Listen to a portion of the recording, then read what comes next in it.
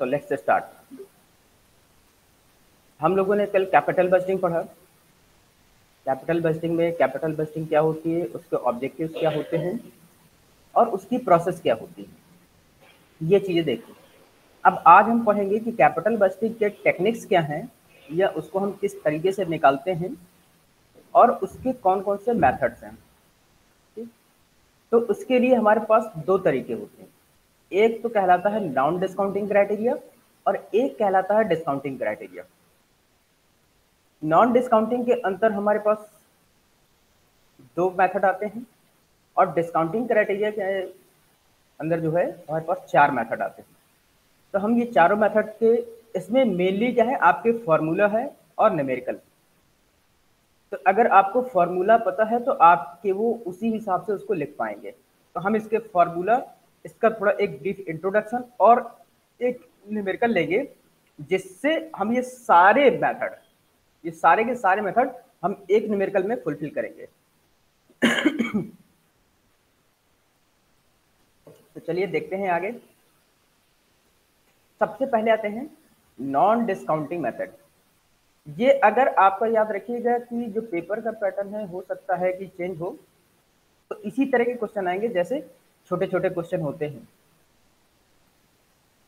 तो सबसे पहला है payback period method payback period method तो इसमें क्या होता है? It is defined as the number of years required to recover original cost invested in a project it has two conditions. The first one is when cash inflows is constant every year and when cash inflows are not constant every year. ठीक? अब यहाँ पर number of cost जो original cost इसका क्या मतलब है? कि जब मान लीजिए आपके किसी प्रोजेक्ट में, आपके किसी प्रोजेक्ट में आपका एक लाख रुपया इन्वेस्टेड ठीक? और उसका जो रिटर्न मिल रहा है, उसका जो आपको रिटर्न मिल रहा है, हर साल अलग अलग मिल रहा है। अगर आपका मान लीजिए कांस्टेंट है तो जो पे बैक पीरियड पीबीपी मतलब पे बैक पीरियड आपका जो cash outflow divided by cash inflow हो जाएगा पर एनम मतलब कि मैं आपको थोड़ा सा कैलकुलेशन करके भी दिखा देता हूँ, लेकिन मुझे उसके लिए थोड़ा सा चेंज करना पड़ेगा। एक्सेल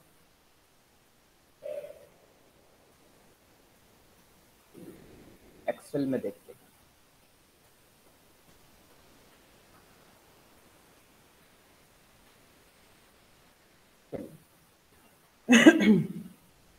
हम एंटायर स्क्रीन को रिप्रेजेंट करते हैं।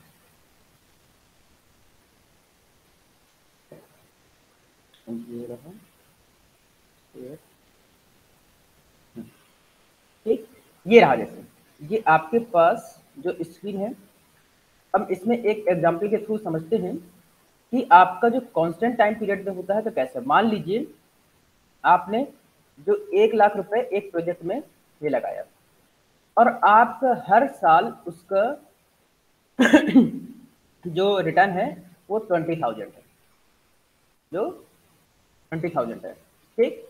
तो इसका मतलब आपका जो पे बैक पीरियड क्या होगा, जो टोटल आपका कैश आउटफ्लो कॉस्ट आउटफ्लो मतलब कि आपने जो उसमें लगाया है वन लैख डिवाइडेड बाई आपके जो कैश इनफ्लो कांस्टेंट है तो सीधा ट्वेंटी थाउज़ेंड आ जाएगा। ठीक?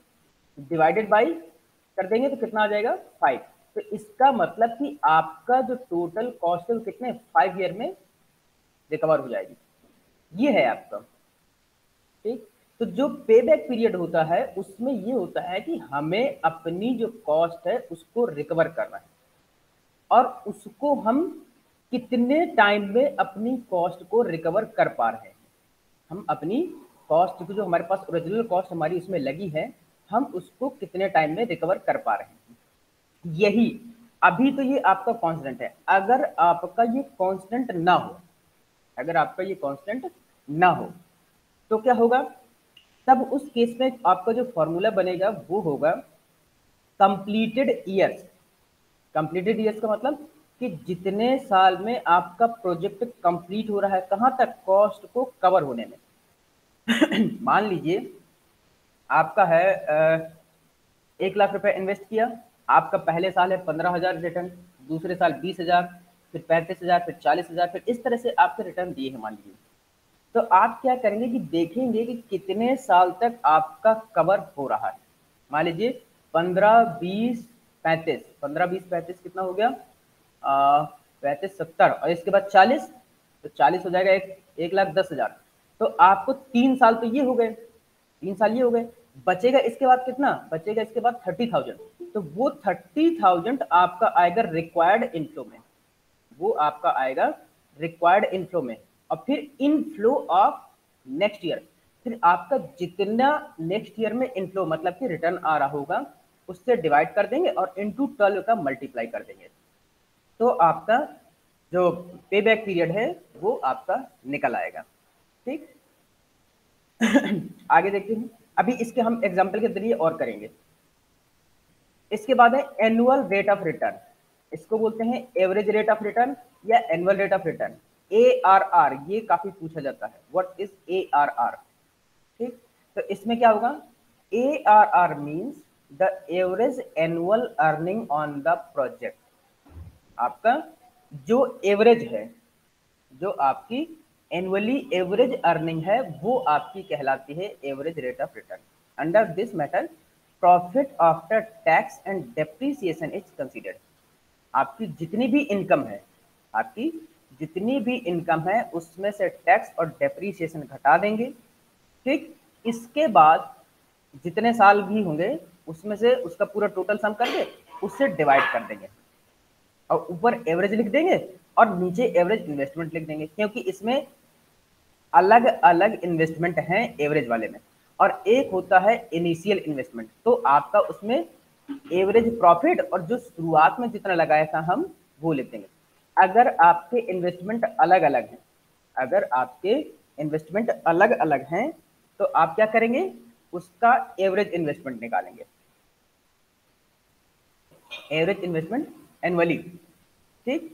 और अगर आपका इकट्ठे आपने इन्वेस्ट किया है इनिशियल में तो आप केवल वही रखेंगे। लेकिन आपको जो प्रॉफिट है, वो आपको आफ्टर टैक्स ही कैलकुलेट करना है। इसमें हंड्रेड का मल्टीप्लाई इसलिए ताकि आप परसेंटेज में निकाल सकें कि आपका कितना एवरेज रेट ऑफ़ रिटर्न निकला ठीक?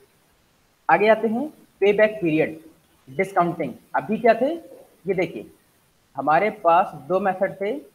नॉन डिस्काउंटिंग में कौन सा? एक था पे बैक पीरियड और एक था अकाउंटिंग रेट ऑफ़ रिटर्न या एवरेज रेट ऑफ़ रिटर्न ये दो। तो ये दो हमने निकाल लिया अब आते हैं हमारे पास डिस्काउंटिंग क्राइटेरिया डिस्काउंटिंग क्राइटेरिया ठीक? इसमें हमारे पास चार मेथड हैं। Discounting pay back period NPV इसका नेट प्रेजेंट वैल्यू फिर है प्रॉफिटेबिलिटी इंडेक्स और है internal rate of return I R R ठीक तो अब हम डिस्काउंटिंग क्राइटेरिया में देखते हैं कि हमारे पास क्या क्या तो डिस्काउंटिंग क्राइटेरिया में सबसे पहले पे बैक पीरियड इसमें भी हमें डिक्टो वही करना है, लेकिन इन discounted pay back period method the cash inflows are discounted by applying the present value factor. हम जब ने आप, जब आपको टाइम वैल्यू ऑफ़ मनी बता रहे थे, जब टाइम वैल्यू ऑफ़ मनी बता रहे तो हमने उसमें एक प्रेजेंट वैल्यू फैक्टर की एक टेबल होती है। उसकी टेबल से हमें हर ईयर का और परसेंटेज का क्या दिया होता है? एक वैल्यू दी होती है। वो वैल्यू दी होती है।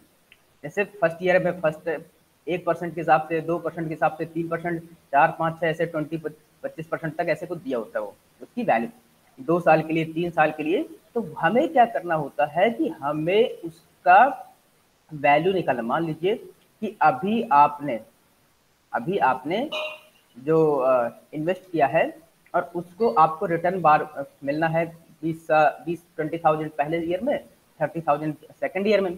तो ट्वेंटी थाउज़ेंड का अभी वैल्यू क्या होगा? ट्वेंटी थाउज़ेंड का अभी वैल्यू क्या होगा? तो हम क्या करेंगे? उसमें जो हमारे पास पीवी फैक्टर है, उसके द्वारा हम उसको निकाल लेंगे। ठीक?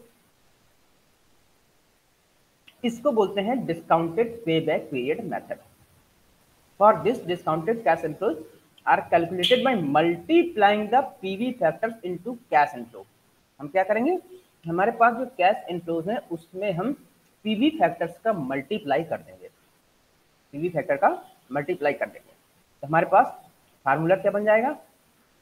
डिस्काउंटेड पे बैक पीरियड देखिए फार्मूला डिक्टो लगभग सेम वही है। बस क्या है, आपका जो इनफ्लोज हैं, जो इनफ्लोज हैं, वो चेंज हो रहे हैं।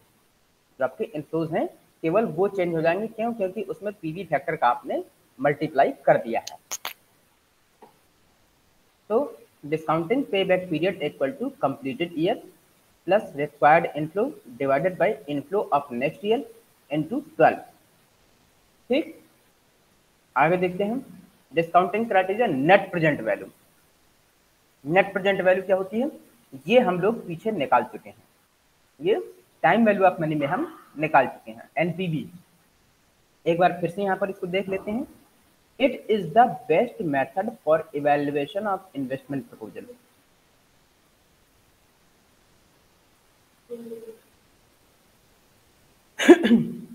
इसमें ये सबसे बढ़िया तरीका होता है, क्यों? क्योंकि आपको जो फ्यूचर में जो भी मिलने वाला है, आपको जो फ्यूचर में मिलने वाला है, उसकी अभी क्या वैल्यू होगी, ये जानना बहुत ज़रूरी होता है। आपका जो फ्यूचर में मिलने वाला है, उसकी अभी वैल्यू हमें निकालना होता है। तो उसके लिए देखिए फार्मूला है N PV equal to PV of inflows PV of inflows मतलब प्रेजेंट वैल्यू ऑफ़ इनफ्लोज जो आपको फ्यूचर में मिले हैं ना, वो जो रिटर्न आएँगे। और minus PV value of outflow PV value of जो आप, जो है, उसमें इन्वेस्ट करने वाले हैं। उनका प्रेजेंट वैल्यू फिर इसके बाद आपको क्या करना है? अगर आपका एनपीवी जब इनफ्लोज और आउटफ्लोज दोनों का प्रेजेंट वैल्यू निकाल लिया आपने, उसमें से आपको क्या करना है? आपको घटा देना है। इन फ्लोज में से आपको आउटफ्लोज को घटा देना है। मतलब जितना मिला और जितना लगाया। अब अगर आपका एनपीवी पॉजिटिव आता है, अगर आपका एनपीवी पॉजिटिव आता है तो क्या है? आपने जो इन्वेस्ट किया है प्रोजेक्ट में, इसका मतलब कि वो प्रोजेक्ट सही है और आपको उसमें प्रॉफिट मिलेगा। और अगर आपका एनपीवी नेगेटिव आता है, अगर आपका एनपीवी नेगेटिव आता है तो इसका मतलब कि आपका जो प्रोजेक्ट में इन्वेस्ट कर रहे हैं, वो उसमें लॉस के पॉसिबिलिटी है। उसमें लॉस हो सकता है, आप उसको इन्वेस्ट उसमें ना करें। ठीक? अगर एनपीवी आपका ज़ीरो आ जाता है, अगर आपका एनपीवी ज़ीरो आता है तो फिर आपको क्या है? आप चाहें तो उसको एक्सेप्ट कर सकते हैं और चाहे तो रिजेक्ट कर सकते हैं। क्यों? क्योंकि आपका उसमें ना ही प्रॉफिट है, ना ही लॉस है। मतलब कि ब्रेक इवन है आपका। ब्रेक इवन वाली कंडीशन आ जाती है। ना ही आपको उसमें कुछ रिटर्न मिलना है और ना ही आपका उसमें कुछ जा रहा है। हाँ हो सकता है कि टाइम वगैरह आपका जाए, अपनी उसकी मेहनत चली जाए, लेकिन चूँकि हम लोग यहाँ सारा का सारा फाइनेंशियल टर्म में है तो फाइनेंशियल टर्म में आपको प्रॉफिट या लॉस नहीं हो सकता। लेकिन अगर आपका इक्वल टू आता है तो मोस्टली क्या होता है कि आप लोग उसको छोड़ सकते हैं। क्यों?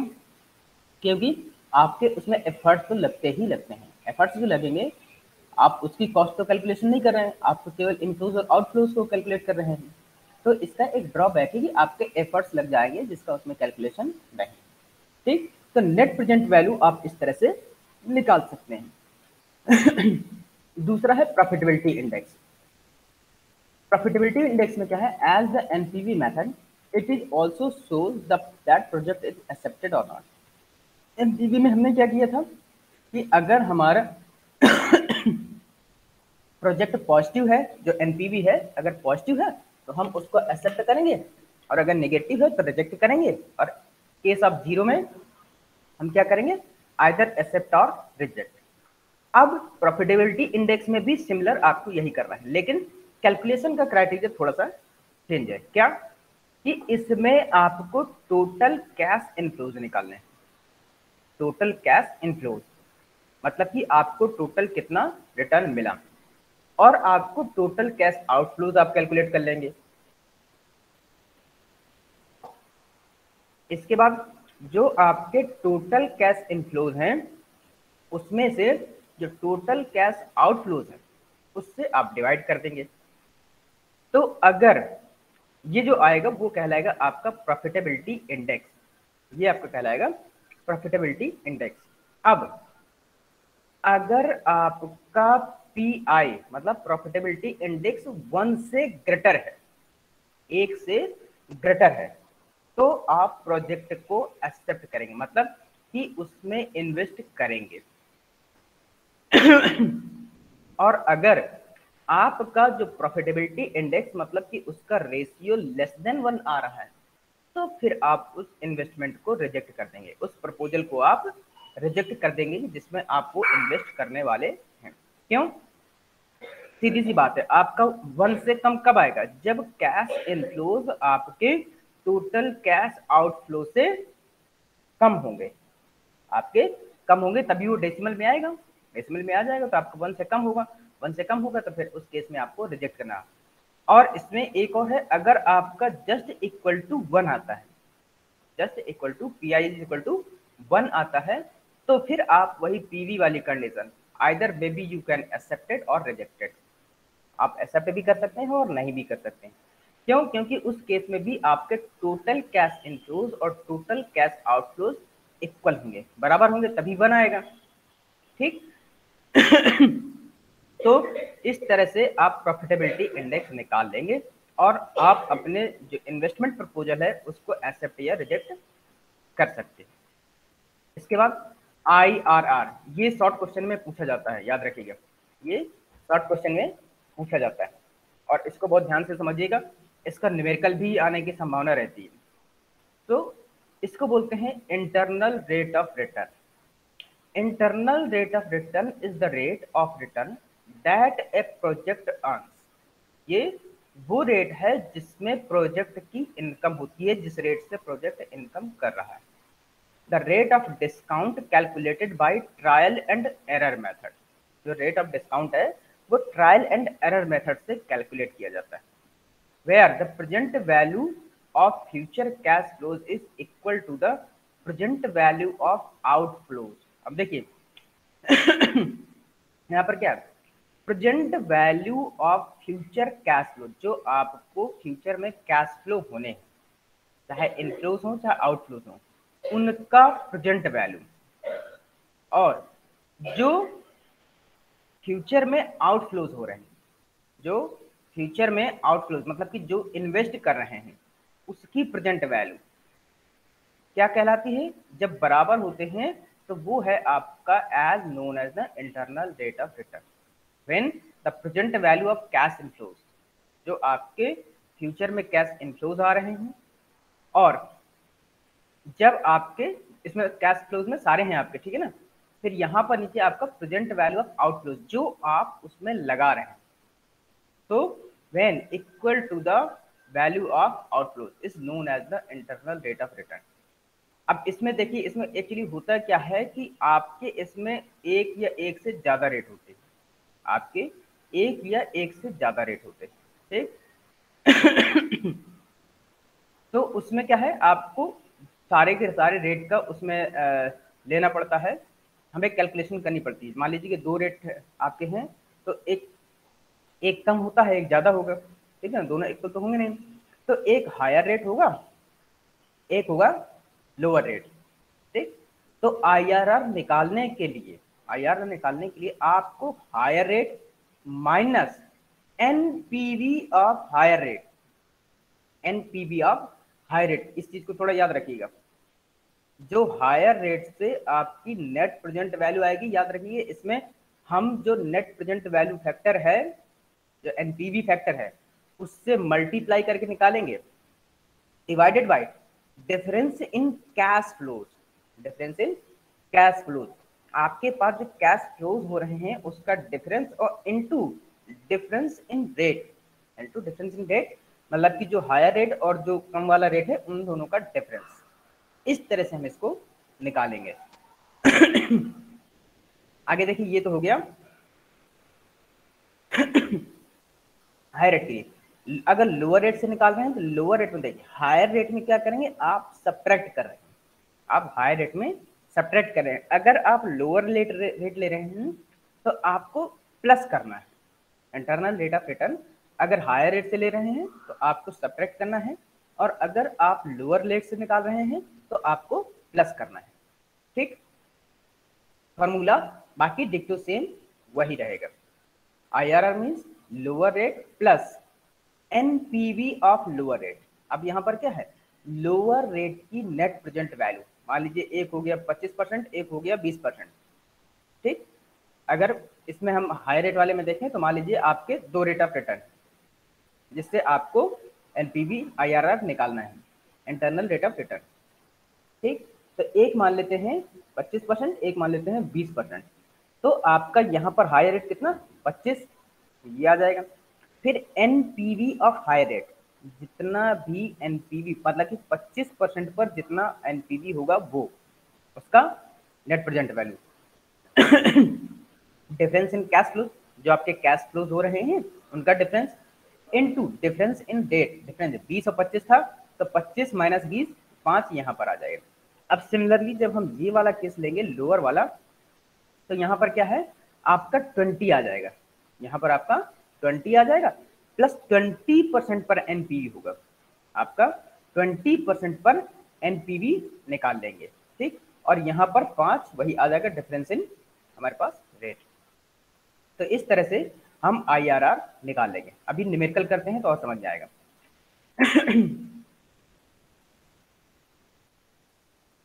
तो ये आपके मेथड हो गए। ठीक?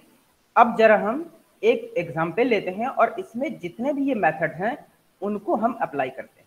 देखिए, आपके पास एक प्रोजेक्ट दिया हुआ है। आपके पास एक प्रोजेक्ट दिया हुआ है। क्या है?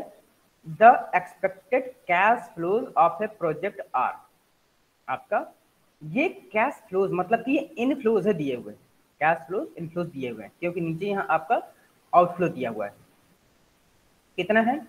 फ़र्स्ट ईयर में ट्वेंटी थाउज़ेंड सेकेंड ईयर में थर्टी थाउज़ेंड थर्ड ईयर में फोर्टी थाउज़ेंड फोर्थ ईयर में फिफ्टी थाउज़ेंड और फिफ्थ ईयर में थर्टी थाउज़ेंड ये आपके कैश इनफ्लोज दिए हुए ठीक?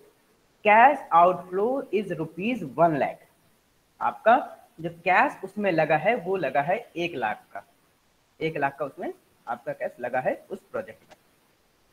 The cost of capital is ten percent जो आपकी उसकी कॉस्ट ऑफ़ कैपिटल है, वो दस परसेंट है। ठीक? हमें क्या निकालना है? कैलकुलेट द फॉलोइंग क्या क्या निकालना है देखिए। NPV profitability index IRR payback period discounting payback period हमें लगभग सभी कुछ निकालना है, ठीक?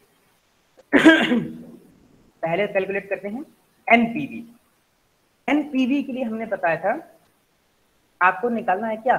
प्रेजेंट वैल्यू फैक्टर से उसका कैश फ्लो आपको प्रेजेंट वैल्यू फैक्टर से उसका कैश फ्लो ठीक? तो देखिए, जो पहले साल में बीस हज़ार मिलेगा। जो पहले साल में बीस हज़ार मिलेगा। तो दस परसेंट कॉस्ट ऑफ़ कैपिटल हमारे पास दस परसेंट है। दस परसेंट पर पहले साल, एक साल का प्रेजेंट वैल्यू फैक्टर है point nine zero nine point nine zero nine ये। तो इसकी प्रेजेंट वैल्यू क्या होगी? That is twenty thousand into point nine zero nine twenty thousand into point nine zero nine तो ये आ जाएगा आपका one eight eight one eight zero one eight one eight zero eighteen thousand one hundred eighty ये आपका पहले साल का प्रेजेंट वैल्यू है। आपको रिटर्न मिल रहा है कैश फ्लो ट्वेंटी थाउज़ेंड लेकिन उसका प्रेजेंट वैल्यू है आपका eighteen thousand one hundred eighty ठीक? सिमिलरली सेकेंड ईयर में आपको जो मिल रहा है that is thirty thousand second year में आपको मिल रहा है थर्टी थाउज़ेंड उसके लिए दो साल का प्रेजेंट वैल्यू फैक्टर दस परसेंट पर है point eight two six point eight two six तो thirty thousand into point eight two six thirty thousand into point eight two six कितना आ जाएगा? Twenty four thousand seven hundred eighty twenty four thousand seven hundred eighty ये हमने इसमें decimal के three point तक लिया है। इसमें सर चार या पाँच डिजिट तक होता है। इसमें फोर या फाइव डिजिट तक होता है तो जैसे यहाँ पर पॉइंट नाइन ज़ीरो नाइन लिखा तो यहाँ पर एट सेवन भी हो सकता है तो यहाँ पर हमने क्योंकि थ्री डिजिट तक ले लिया है तो हमने सीधा इसको राउंड ऑफ़ कर लिया है। लास्ट के थ्री डिजिट तक, ठीक? तो सेकेंड ईयर में आपका जो कैश फ्लो की प्रेजेंट वैल्यू होगी, वो होगी तीस हज़ार का रिटर्न था, लेकिन उसकी वैल्यू होगी twenty four thousand seven hundred eighty similarly third year में, जो थर्ड ईयर में है रिटर्न मिल रहा है फोर्टी थाउज़ेंड तो तीन साल का present value factor ten percent पर है पॉइंट सेवन फाइव वन और जब इसका मल्टीप्लाई करेंगे तो इसकी वैल्यू आएगी thirty thousand forty thirty thousand forty अब देखिए, ऐसे ही फोर्थ ईयर के लिए आपका आएगा thirty four thousand one hundred fifty और फिफ्थ ईयर के आ रहा है आपका एटीन थाउज़ेंड सिक्स हंड्रेड तो जो टोटल कैश इनफ्लो है, जो टोटल कैश इनफ्लो है, वो क्या आएगा? सबको हम ऐड कर रहे हैं। इन सबको ऐड कर देते हैं। कितना? Eighteen thousand one hundred eighty twenty four thousand seven hundred eighty thirty thousand forty thirty four thousand one hundred fifty eighteen thousand six hundred तो टोटल ऐड किया तो हमारे पास आया one lakh twenty five thousand seven hundred fifty हमारे पास ये आया है one lakh twenty five thousand seven hundred fifty तो इसका मतलब कि हमारा एन पी वी अब यहाँ पर देखिए, हमें क्या करना था? एन पी वी पॉजिटिव है या नेगेटिव हमारे पास एन पी वी पॉजिटिव है या नेगेटिव तो हम क्या करेंगे? जो हमारे पास टोटल कैश इनफ्लो है, हमारे पास जो टोटल कैश इनफ्लोज हैं, उसमें से हम टोटल कैश आउटफ्लो को घटा देंगे। हम टोटल जो हमारे पास कैश इनफ्लोज हैं मतलब कि यहाँ से क्या करेंगे? One lakh twenty five thousand और seven hundred fifty minus one lakh हम इतना करेंगे। हम इतना कर देंगे तो हमारे पास क्या आ जाएगा? Twenty five thousand seven hundred fifty तो अब देखिए, ये क्या है? पॉजिटिव ये हमारे पास पॉजिटिव वैल्यू मतलब कि हमने जो इन्वेस्ट किया है, उसमें से हमें twenty five thousand seven hundred fifty extra मिल रहा है। तो अब ये प्रोजेक्ट एक्सेप्ट होगा, ये रिजेक्ट अब आप पता लगा सकते हैं। ये पॉजिटिव है। तो हमने क्या बताया था? अगर पॉजिटिव है तो प्रोजेक्ट इज़ एक्सेप्टेड ठीक? अब मैं थोड़ा सा वो चेंज कर रहा हूँ और इसको फिर से स्क्रीन पर इसका कैलकुलेशन के लिए आपको थोड़ा सा शो कर रहे हैं हम। एंटायर स्क्रीन ये रहा। ये। अब हम क्या करते हैं? हमें निकालना है पी आई हमें निकालना है P I that is profitability index हम निकाल रहे हैं प्रॉफिटेबिलिटी इंडेक्स तो यहाँ से देखिए, हम निकाल लेते हैं कैलकुलेटर ये रहा। हमारे पास जो पीआई निकालने का फॉर्मूला था, अगर आपको याद हो तो देखिए total cash inflows divided by total cash outflows ये देखिए total cash inflows divided by total cash outflows हम प्रोजेक्ट एक्सेप्ट होगा अगर मोर देन वन होगा और रिजेक्ट होगा अगर लेस देन वन होगा। देखिए, हमारे पास जो पहला है ये हमने यहीं पर पी आई ये निकाल दिया हुआ है। This is your P I ये क्या है? 1.25 एक बार इसको कैलकुलेट कर लेते हैं जरा। हमारे पास है one lakh twenty five thousand seven hundred fifty divided by ये आपके क्या है? टोटल कैश इनफ्लोज हैं। Divided by total cash outflows कितना? One lakh one zero zero zero zero zero तो हमारे पास क्या आ गया? 1.2575. So, since the value of Pi is greater than 1, so the project will be accepted. जो proposal है आपका वो एक्सेप्ट हो जाएगा क्योंकि इसमें जो पी आई की वैल्यू है वो मोर देन वन है। वो वन होने की वजह से मोर देन वन है तो आपका ये एक्सेप्ट हो जाएगा। ये हो गया आपका प्रॉफिटेबिलिटी इंडेक्स तो आपकी दो चीज़ें निकल आई। क्या? एक तो निकल आया आपका नेट प्रेजेंट वैल्यू और एक निकल आया आपका प्रॉफिटेबिलिटी इंडेक्स दोनों ही केस में आपका क्या है? जो इन्वेस्टमेंट प्रपोजल आपने दिया है, वो एक्सेप्ट हो रहा है। क्योंकि वो हमारी दी हुई सर्कमस्टांसिस कंडीशन को फॉलो कर रहा है। अब देखते हैं I R R I R निकालने के लिए हमारे पास दो रेट दिए हुए हैं। हमारे पास दो रेट दिए हुए हैं। एक 18 परसेंट है, एक 19 परसेंट है। एक 18 परसेंट है और एक 19 परसेंट है। ठीक? तो हमें क्या करना है? हमने क्या बताया था? Higher rate higher rate minus आपका PV value of cash flows PV value of cash flows divided by divided by total cash जो आउटफ्लोज हैं, उसका डिफरेंसेस उसके डिफरेंसेस ठीक है ना? और इनटू में इनटू में डिफरेंस ऑफ़ जो रेट्स हैं डिफरेंस ऑफ़ रेट्स हैं। तो देखिएगा, हमारे पास सबसे पहले तो एक साल का 19 परसेंट पर जो पीवी फैक्टर है, वो है पॉइंट एट फोर उन्नीस परसेंट पर जो एक साल का पीवी फैक्टर है वह है पॉइंट एट फोर फिर 19 परसेंट पर दो साल का पीवी फैक्टर है हमारे पास पॉइंट सेवन ज़ीरो सिक्स हमारे पास जो दो साल का पीवी फैक्टर है 19 परसेंट पर पॉइंट सेवन ज़ीरो सिक्स ठीक? तीन साल का 19 परसेंट पर पीवी फैक्टर है पॉइंट फाइव नाइन थ्री फिर फोर ईयर का पीवी फैक्टर 19 परसेंट पर पॉइंट फोर नाइन नाइन फिर फाइव ईयर का पीवी फैक्टर 19 परसेंट पर पॉइंट फोर टू ठीक? अब हमें क्या करना है? इनकी प्रेजेंट वैल्यू निकाल लेनी है। इनकी प्रेजेंट वैल्यू। तो twenty thousand into point eight four. Twenty thousand into point eight four. हम एक कैलकुलेट करके दिखा रहे हैं तो आपको आइडिया लग जाएगा। तो twenty thousand twenty thousand into point eight four. ये रहा आपका देखिए, सिक्सटीन थाउज़ेंड एट हंड्रेड। ये रहा आपका सिक्सटीन थाउज़ेंड एट हंड्रेड। ये आपका आ गया। ठीक? सिमिलरली यहाँ पर सेकेंड ईयर के लिए जब निकालेंगे तो उसकी थर्टी थाउज़ेंड की जो आपकी प्रेजेंट वैल्यू होगी, वो होगी twenty one thousand one hundred eighty forty thousand की थर्ड ईयर में प्रेजेंट वैल्यू होगी twenty three thousand seven hundred twenty fifty thousand की फोर्थ ईयर में प्रेजेंट वैल्यू होगी twenty four thousand nine hundred fifty याद रखिएगा। ये हमारे पास 19 परसेंट पर है। जब हमारे पास पीवी फैक्टर 19 परसेंट है। क्योंकि ये वैल्यू जब हमारा ये पीवी फैक्टर का परसेंटेज चेंज हो जाता है तो ये भी चेंज हो जाते हैं सब।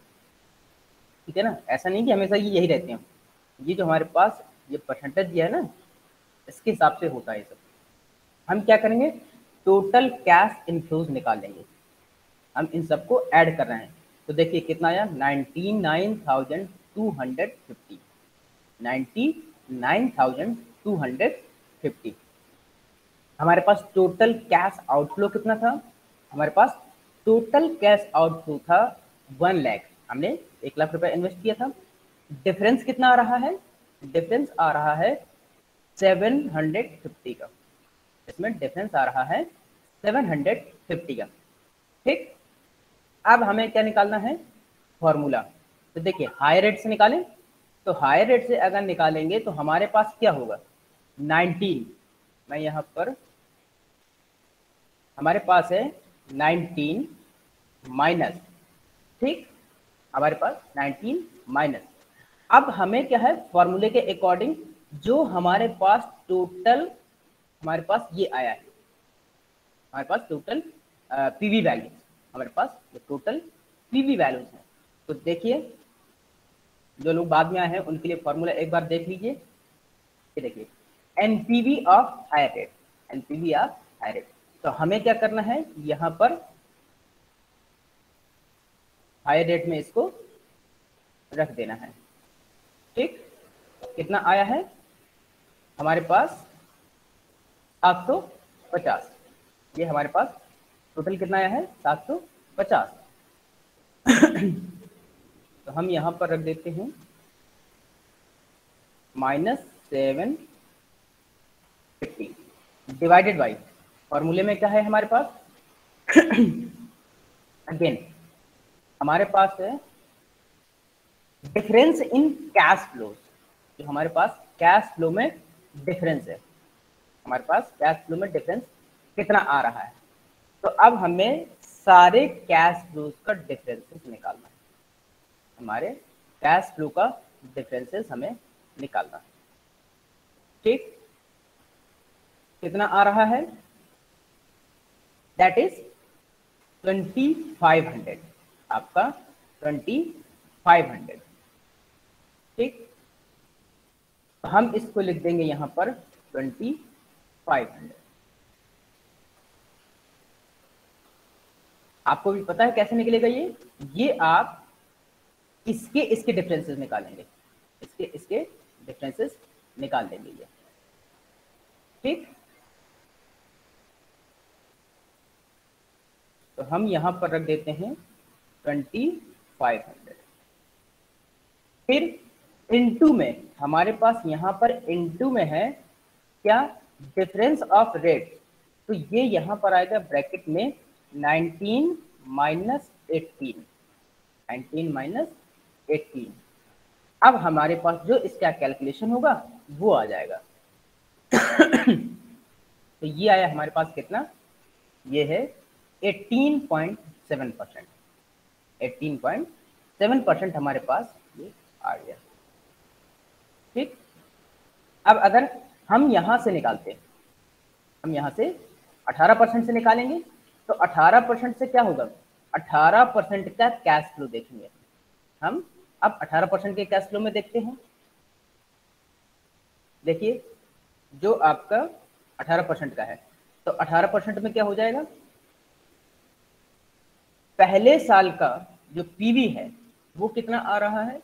Point eight four seven point eight four seven तो इसकी वैल्यू कितनी आएगी? Sixteen thousand nine hundred forty ऐसे सब ये पूरा आप ऐड कर लेंगे तो आपका आ रहा है one lakh one thousand seven hundred fifty one lakh one thousand seven hundred fifty इसमें भी जो नीचे का डिफरेंस है, नीचे का डिफरेंस दोनों का कितना रहेगा? वो ट्वेंटी फाइव हंड्रेड ही रहेगा। ट्वेंटी फाइव हंड्रेड ये ट्वेंटी फाइव हंड्रेड मैंने बताया था ना कि जो इसका इसका डिफरेंस है, जो हमारे पास लेस कैश आउटफ्लोज हैं टोटल कैश इनफ्लोज हैं, इसका डिफरेंस है और जो हमारे पास एनपी आया है एनपीवी का डिफरेंस कैसे आएगा? यहाँ पर देख लीजिए। जो हमारे पास है ये है हमारे पास था वन सेवन फाइव ज़ीरो। और फिर वो माइनस, ठीक? और ये within the bracket minus seven five zero. ये था हमारे पास, ये क्या माइनस माइनस हो जाएगा प्लस? तो हम यहाँ पर लिख देंगे ट्वेंटी फाइव हंड्रेड। में सीधा डायरेक्ट लिख देंगे ये इस तरह से आया है, ठीक? अब यही जब हम 18 परसेंट में निकालेंगे, हम इसको जब 18 परसेंट में निकालेंगे तो 18 परसेंट के हिसाब से अब देखिए क्या आएगा? जो 18 वाला आएगा तो यहाँ पर अब हम, जो हमने यहाँ पर माइनस किया था, यहाँ पर आएगा 18 प्लस ये प्लस हो जाएगा। अब इसके साथ का डिफरेंस है अब इसके साथ वाला डिफरेंस है यहाँ पर क्या था? 70 750 का। यहाँ पर डिफरेंसेस है हमारे पास 1750 का। यहाँ पर हमारे पास डिफरेंस है 1750 का। ठीक? तो अब हम यहाँ पर लिखेंगे 1750 हम यहाँ पर लिखेंगे 1750 डिवाइडेड बाय डिफरेंसेस वही 2500 ठीक और इनटू में इन द ब्रैकेट ये आ जाएगा आपका 19 माइनस एट्टी ये आ जाएगा। पहले हमने जब हाई रेट से निकाला था तो लेस करके निकाला था, और जब हमने लोअर रेट से निकाला तो हमने प्लस करके निकाला। अब इस तरह से हमारे पास देखिए, कितना आ जाएगा? I R R eighteen point seven percent हमारे पास eighteen point seven percent I R R आ गया। आगे देखते हैं। अब हमारे पास नॉन डिस्काउंटिंग पे बैक पीरियड निकालते हैं। नॉन डिस्काउंटिंग पे बैक पीरियड अभी हमने क्या निकाला था? आई आर आर अब हम नॉन डिस्काउंटिंग पे बैक पीरियड निकाल रहे हैं। पे बैक पीरियड का मतलब है कि हम कितने साल में अपना कॉस्ट जो है कवर कर लेंगे। हम कितना कॉस्ट कवर कर लेंगे। तो जो हमारे पास रिटर्न आ रहे हैं, जो हमारे पास रिटर्न आ रहे हैं twenty thousand thirty thousand forty thousand fifty thousand thirty thousand हम क्या करेंगे? इसके क्यूमुलेटिव कैश फ्लो निकाल लेंगे। हम इसके क्यूमुलेटिव कैश फ्लोज निकाल लेते हैं। तो क्यूमुलेटिव कैश फ्लो कैसे निकालते हैं? जैसे आपने स्टैटिस्टिक्स में पढ़ा हो ना कि क्यूमुलेटिव फ्रीक्वेंसी निकालते हैं। ऐसे ही यहाँ पर क्यूमुलेटिव हम कैश फ्लो निकालेंगे। पहले साल का डेट तो सेम रख दिया। अगले साल में जो नेक्स्ट ईयर का होता है, उसको ऐड कर दिया। तो ट्वेंटी प्लस थर्टी कितना हो गया? Fifty thousand fifty plus forty कितना हो गया? Ninety thousand ninety plus fifty कितना हो गया? वन लैख फोर्टी थाउज़ेंड फिर one lakh forty plus thirty कितना हो गया? वन लैख सेवेंटी थाउज़ेंड ये हो गए आपकी क्यूमुलेटिव कैश फ्लो अब जो पे बैक पीरियड निकालना है हमें नॉन डिस्काउंटिंग में तो हम क्या करेंगे? कंप्लीटेड ईयर्स कंप्लीटेड ईयर्स अब यहाँ पर कंप्लीटेड ईयर्स में कितने साल में हमें कंप्लीट हो रहा है? तीन साल में. तीन साल में हमें कितना मिल रहा है? नब्बे हज़ार. नाइन्टी थाउज़ेंड तीन साल में हमें नाइन्टी थाउज़ेंड मिल रहा है. अब हमारे पास बचा कितना है? हमारे पास बचा कितना है? हमने लगाया था एक लाख रुपया. एक लाख रुपया बचा था, एक लाख रुपया लगाया था, उसमें से हमारे पास अभी कितना रिकवर करना है हमें? टेन थाउज़ेंड हमें टेन थाउज़ेंड रिकवर करना है तो means one lakh minus ninety thousand one lakh minus ninety thousand तो देखिए टेन थाउज़ेंड यहाँ पर आ जाएगा। One lakh minus ten thousand तीन साल में हमने नाइन्टी थाउज़ेंड कवर किया, बाकी का जो बचा है plus one lakh minus ninety thousand divided by inflow of next year अगले साल में कितना मिलेगा? अगले साल में हमें मिल रहा है फिफ्टी थाउज़ेंड ये फोर्टी थाउज़ेंड में हमारा नाइन्टी थाउज़ेंड कवर हो गया। अगले साल में मिल रहा है फिफ्टी थाउज़ेंड तो divided by inflow of next year कितना? Fifty thousand into twelve into twelve ठीक? तो अब देखिए, हमारे पास कितना आया? थ्री ईयर्स फिर यहाँ पर आएगा आपका कितना? Ten thousand by fifty thousand तो कितना आ जाएगा? Point two ten thousand point decimal लगाएँगे तो वो कितना हो जाएगा? आपके पास वन लाख हो जाएगा, दस हज़ार से हो जाएगा वो। पॉइंट टू आ जाएगा आपका। पॉइंट टू में हम वन ट्वेल्व का मल्टीप्लाई करेंगे तो टू पॉइंट फोर आ जाएगा हमारे पास। टू पॉइंट फोर आ जाएगा। तो थ्री ईयर्स में हम टू पॉइंट फोर और जोड़ेंगे तो फाइव पॉइंट फोर ईयर्स में आपका वन लैख कवर हो जाएगा। फाइव पॉइंट फोर ईयर्स में आपका जो कॉस्ट है वो कवर हो जाएगी एक लाख आपकी हो जाएगी। इसको बोलते हैं नॉन डिस्काउंटिंग पे बैक पीरियड अब देखिए डिस्काउंटेड का क्या होगा? जो डिस्काउंटेड है, उसमें फॉर्मूला वही रहेगा। लेकिन अब हम इसमें जो हमारे पास कैश इनफ्लोज हैं, अब उनकी हम क्या निकालेंगे? प्रेजेंट वैल्यू हम प्रेजेंट वैल्यूज़ निकालेंगे। तो देखिए, दस परसेंट पर, हमारे पास कॉस्ट ऑफ़ कैपिटल दिया था, कितना? दस परसेंट तो दस परसेंट पर हमारे पास जो इनफ्लोज है फ़र्स्ट ईयर के लिए कितना है? Eighteen thousand one hundred eighty second year पर twenty four thousand seven hundred eighty किसका? थर्टी थाउज़ेंड का। फिर यहाँ पर थर्ड ईयर में फोर्टी थाउज़ेंड का पी प्रेजेंट वैल्यू है thirty four thirty thousand forty फिर फोर्थ ईयर में फिफ्टी थाउज़ेंड का कैश फ्लो है thirty four thousand one hundred fifty और फिफ्थ ईयर में जो पीवी वैल्यू है कैश फ्लो है थर्टी थाउज़ेंड की 18,600 अगेन अब हमारे पास ये क्या है? डिस्काउंटेड कैश फ्लो है। अब हमारे पास ये डिस्काउंटेड कैश फ्लो है। अब हम इसका क्या करेंगे? वही डिक्टो सेम क्यूमुलेटिव कैश फ्लोस निकालेंगे हम। निकालेंगे क्यूमुलेटिव कैश फ्लोस तो देखिए यहाँ पर सबसे पहले पहली फ़र्स्ट ईयर का सेम 18,180 प्लस दूसरे साल में हम उसको ऐड कर देंगे। कितना? 24,780 तो हमारे पास कितना हो जाएगा? 42,960 इसमें से हम नेक्स्ट थर्ड ईयर का जोड़ देंगे। कितना आएगा? थर्टी थाउज़ेंड फोर्टी तो हमारे पास हो जाएगा सेवेंटी सेवेंटी थ्री थाउज़ेंड अब यहाँ पर देखिए, अगले साल में हमारे पास ये एक लाख से ज़्यादा हो रहा है। एक लाख से ज़्यादा हो रहा है। हमें कॉस्ट कितनी कवर करनी है? एक लाख की। एक लाख की कवर करनी है? तो तिहत्तर हज़ार। Seventy thousand seventy three thousand यहाँ तक कवर हो गया। लेकिन अब हमें बाकी का कितना बचा है? तो थ्री ईयर्स तक हमारे पास ये हो गया completed years plus required inflow required हमें कितना है? एक लाख में से सेवेंटी थ्री थाउज़ेंड घटा देंगे। एक लाख में से हमने सेवेंटी थ्री थाउज़ेंड घटा दिया, जो भी आएगा। डिवाइडेड बाई डिवाइडेड बाई अगले साल कितना इनफ्लो है? Thirty four thousand one hundred fifty अगले साल का इनफ्लो इंटू ट्वेल्व तो देखिए, इसका कितना आ जाएगा? हम इसको कैलकुलेट कर रहे हैं। ये है हमारे पास one lakh one lakh minus seventy three thousand. Seventy three thousand आया कितना? Twenty seven thousand. Divided by thirty four thousand one hundred fifty. ये आया हमारे पास पॉइंट सेवन नाइन ज़ीरो। इसमें इंटू ट्वेल्व कितना? Nine nine point four eight nine point four eight में से हम कितना आपके थ्री ईयर्स और ऐड कर देते हैं। नाइन पॉइंट, इसमें से प्लस का थ्री और ऐड कर दीजिए। तो कितना हो गया?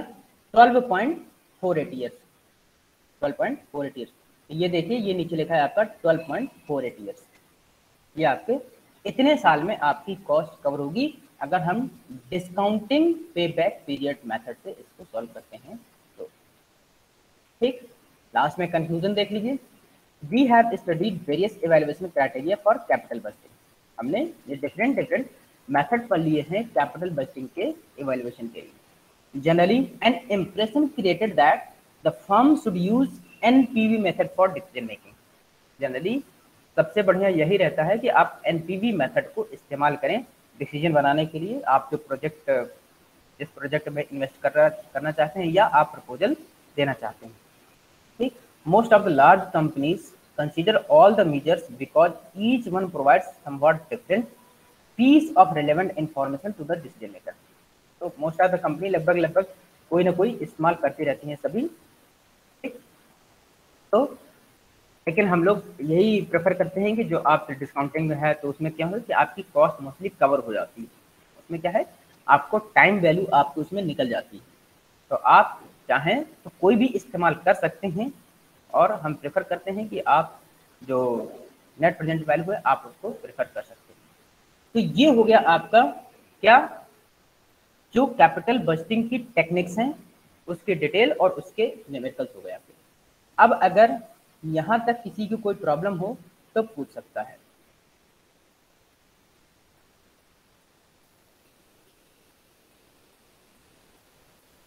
तो हमने आपके कैपिटल बजटिंग की प्रोसेस कैपिटल बजटिंग उसके ऑब्जेक्टिव और उसकी टेक्निक्स उसके न्यूमेरिकल हमने पढ़ लिए।